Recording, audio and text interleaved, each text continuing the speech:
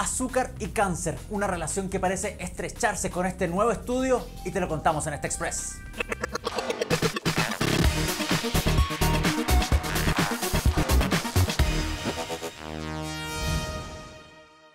Azúcar, amada por muchos y por otros tomados casi como un veneno. Nosotros en esta oportunidad iremos por la segunda opción.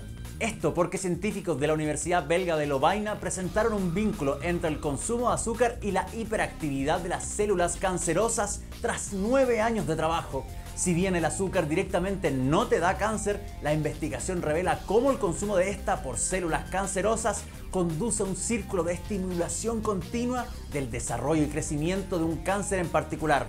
Johan Tebelain, biólogo molecular y uno de los científicos detrás de este estudio, dice que el descubrimiento en sí es una puerta para futuras investigaciones en este ámbito que podrían conducir a la modificación de la dieta de personas que padecen o corren el riesgo de desarrollar diferentes tipos de cáncer.